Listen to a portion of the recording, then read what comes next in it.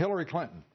Michael, you, was you've got, this is looking like the Clintons have designs of becoming the most corrupt family in American politics. I won't, I, I won't embrace that notion, uh, Lou. However, when I picked up the paper this morning, I was absolutely astonished, and it's and it wasn't in the Washington Times or some you know arguably right-wing paper. The New York Times uh, broke the story. Apparently, it, it, ar- it arose out of a Hoover Institution uh, report, but uh, it, Well, then- it was it was it was it was devastating. And then we find out because the Canadian government requires reporting, we find out the Secretary of State, when she, Hillary Clinton, when she was Secretary of State, from 2009 to 2012, over that period of time, the Russian takeover of a company, Uranium One, that uh, based in Toronto, that has control of a fifth of the United States uranium deposits.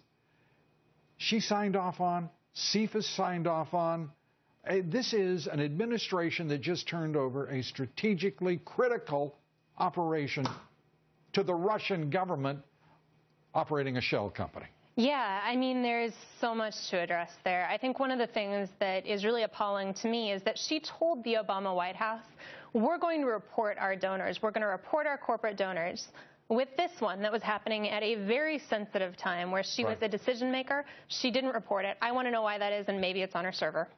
And perhaps the best thing that ever happened to Hillary Clinton and the worst thing was Bill Clinton because I, you know, she was pretty busy being Secretary of State when the Clinton Foundation was raising money and doing doing their good work. So, but this is a th- this story is going What to have looks like corruption, corruption really was just simply being distracted by her uh, energies being devoted to the Department of State. I take your point. We shall Michael. see.